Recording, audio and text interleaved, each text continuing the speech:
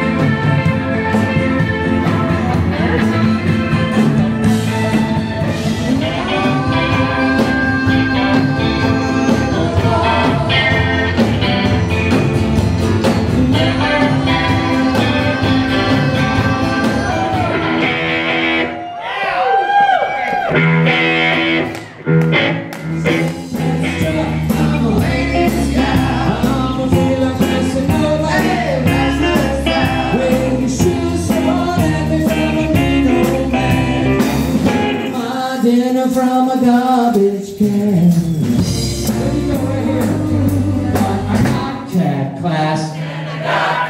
There you go.